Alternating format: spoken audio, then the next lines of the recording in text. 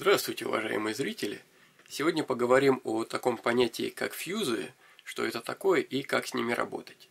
А в следующем видео соберем высоковольтный программатор, который позволяет исправить некоторые ошибки, допущенные при изменении фьюзов, и вернуть микроконтроллер к заводским настройкам. В этом видео поговорим о теории, а примеры я покажу на микроконтроллере ATTini13. Далее, когда буду рассказывать о других микроконтроллерах, например, от Etini 10 или от Etini 2313, вместе с рассказом об особенностях работы с ними, буду показывать пример работы с их фьюз-битами. Работать я буду в среде Arduino IDE и еще использовать небольшую самописную программку. Впрочем, обо всем по порядку и начнем с теории. Фьюзбиты позволяют устанавливать различные режимы работы микроконтроллера, задавать частоту и источник тактового сигнала, превратить порт, связанный с ресетом, в обычный порт ввода-вывода и многое другое. Хранятся фьюз-биты, специально отведенные для этого области э, флеш-памяти, и обычно занимают от 1 до 3 байт памяти, в зависимости от микроконтроллера. Важной особенностью является то, что значение 0 фьюз-бита означает, что он активен, установлен – тогда как значение 1 фьюз-бита означает, что соответствующий ему параметр э, не активен, не установлен. Это правило идет от самого названия фьюз-бита, то есть фьюз с английского это предохранитель, то есть если предохранитель цел, то фьюз-бит не установлен. А вот если мы меняем его значение, условно сжигая предохранитель, то значение фьюз-бита становится равным нулю. Но нам не придется непосредственно устанавливать каждый бит вручную и собирать биты в байты. Нам помогут в этом специальные калькуляторы фьюзов. Их много разных, я пользуюсь вот этим сайтом. Ссылка на него будет в описании к видео. Вначале нужно выбрать микроконтроллер. Возьмем для примера ATTini 13, даже ATTini 13A. Сразу же открываются значения фьюзов, установленные по умолчанию для данного микроконтроллера.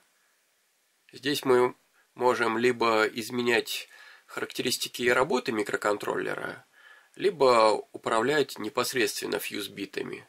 Оба раздела работают синхронно. В левой колонке у нас представлен младший байт, а в правой старший. Отмечая галочкой разные фьюз-биты, мы соответственно меняем шестнадцатеричное представление младшего и старшего байта.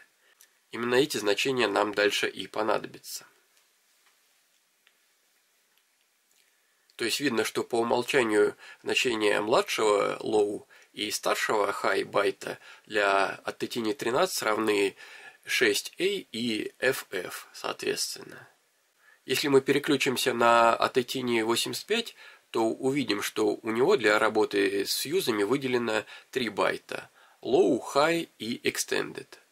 Впрочем, никаких принципиально новых фьюз-битов здесь не появляется. А еще интереснее картина для Atetini 10, у него всего 3 фьюз-бита, и для управления всеми фьюзами хватает всего одного байта. Но вернемся к Atetini 13. Я не буду подробно рассказывать о назначении каждого фьюз-бита. Расшифровку их обозначений всегда можно погуглить, или можно будет почитать в файле, который я размещу в описании к видео. Там не все существующие фьюз-биты, но основные присутствуют. Многие значения вообще можно перезадать при загрузке скетча через Arduino IDE, так что и не имеет смысла менять их другими способами. Из тех фьюзов, которые в целях безопасности нельзя изменить через интерфейс Arduino IDE, отмечу три фьюза. Это SPI-N. Если данный фьюз отключить, то мы потеряем возможность перепрошивать микроконтроллер с помощью ESP-программатора, в качестве которого у нас и выступает Arduino Uno. То есть, думаю, он нужен, чтобы защитить микроконтроллер в каком-то готовом устройстве от перепрошивки. SAT1 и SAT0 задают время старта тактового генератора после подачи питания на микроконтроллер или после его перезагрузки. Пишут в некоторых случаях, если их изменить, микроконтроллер можно вывести из строя. Я не проверял, по мне они особо ни на что не влияют, так что оставляю их по умолчанию. И RST Disable – самый полезный лично для меня, как для любителя малышни от Etini Fuse, так как он позволяет превратить порт, связанный с Reset, в обычный порт ввода-вывода. То есть э, на Etini 13, 25, 45 и 85 мы получаем 6 пинов ввода-вывода вместо 5. И особенно это полезно на ATTINI 10, где всего 6 ножек, и устанавливая данный фьюз, мы получаем 4 пина для работы с цифровым и аналоговым сигналом вместо трех. Но после установки данного фьюза мы теряем возможность перепроживки микроконтроллера с помощью ESP-программатора. И восстановить возможность классического метода прошивки можно только с помощью высоковольтного программатора, о котором я расскажу в следующем видео. Теперь я покажу, как считывать фьюзы микроконтроллера и как их перезаписывать.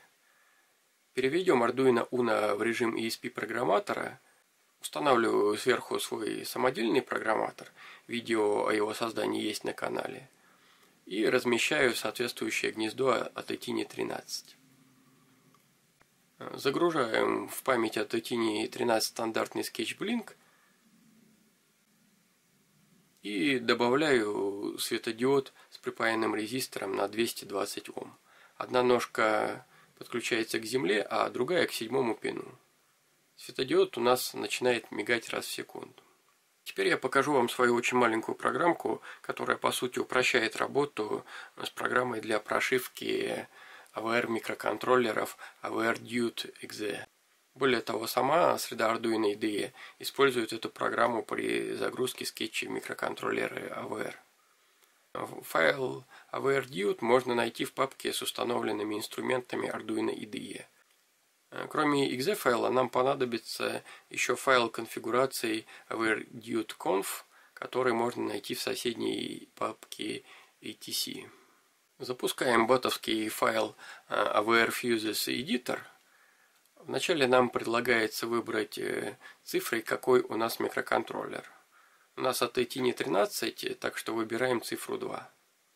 Здесь в списке только те микроконтроллеры, которые я чаще всего использую – Постепенно по мере необходимости буду добавлять новые, но не хочется в этот список вносить всевозможные микроконтроллеры AVR. Кому нужно, я оставлю ссылку на скачивание программки в описании к видео. Сможете добавить сами свои варианты, там все очень просто.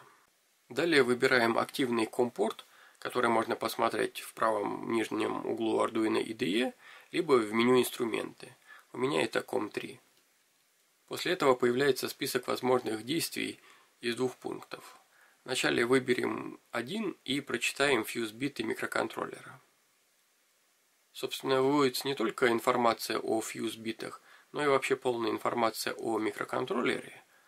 В конце есть значение младшего и старшего фьюз-байтов. Если вернуться на страницу калькулятора, то увидим, что они соответствуют значениям по умолчанию. Теперь попробуем изменить один из фьюзов. Чтобы был наглядно виден результат, уберем делитель тактовой частоты на 8. Значение младшего бита изменилось с 6A на 7A. Нажмем единицу, чтобы вернуться к списку действий. И нажимаем 2, то есть записать фьюзы. Далее нужно ввести значение младшего и старшего байтов. Программа покажет нам сформированную строку, то есть обращение к файлу avr.dude.exe с необходимыми для перезаписи фьюзов параметрами. Здесь у нас и выбор программатора AVR-ESP, и выбор микроконтроллера T13, это ID микроконтроллера в конфиге AVR-Dude. Далее идет скорость передачи данных и сами команды на запись младшего и старшего фьюз байтов. Еще раз все проверяем и нажимаем Yes, то есть выполнить. Запускается процесс, выводится результат об успешном изменении фьюзов, и наш светодиод начинает мигать в 8 раз чаще. А теперь перепишем скетч Blink, чтобы мигать светодиодом, подключенным первой ножке микроконтроллера, которая обозначается как PB5 вместо седьмой. Загружаем скетч Светодиод у нас как-то невнятно горит и не мигает. Все потому, что порт у нас пока занят под ресет, и как обычный порт ввода-вывода работать он не может. Временно убираем светодиод. Возвращаемся на страницу калькулятора. Сбрасываем настройки по умолчанию. И выставляем Fused RST Disable. Младший бит у нас не изменился, а вот старший изменился с FF э, на FE. Переходим в программу для работы с фьюзами, выбираем 2 в Write Fuses и указываем младший бит 6A, а старший FE. Все, после того, как мы внесем изменения, микроконтроллер больше не удастся прошить или изменить фьюзы с помощью обычного ESP-программатора. Соглашаемся и меняем фьюзы. Теперь снова устанавливаем светодиод и видим, что у нас он работает э, на первом пину. Только мигает он у меня тут э, не раз в секунду, как в прошлый раз, потому что я забыл переставить частоту работы микроконтроллера на 1,2 МГц. Менял ее, когда с AT Tiny 85 экспериментировал. Но, в общем-то, это не важно. Мы сделали так, что данный пин – функционирует полностью, как и все остальные пины ввода-вывода.